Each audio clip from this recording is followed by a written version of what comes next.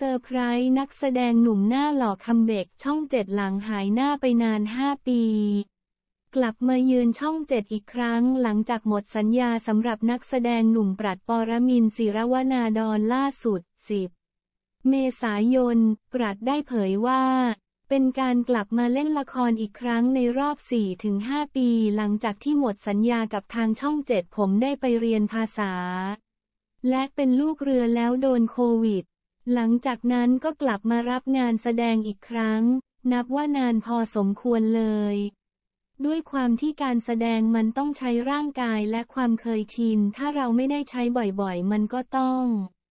มีติดขัดบ้าง เราต้องกลับมาเคาะสนิมบ้าง ความฝันทำงานบนเครื่องบินคิดมาตั้งแต่เด็กๆแล้ว แต่โชคชะตาเล่นตลกเจอโควิด และเราก็เลือกกลับมาเล่นละครอิ่มตัวกับความฝันแล้ว ทุกอย่างต้องฟื้นตัวเราเลย กลับมาเล่นละครดีกว่า มีละครเปิดกล้องพอดีผมเล่นกับทางช่องแปดด้วยเลยเบ่งคิวมาเรื่องสัญญาก็คิดคิดอยู่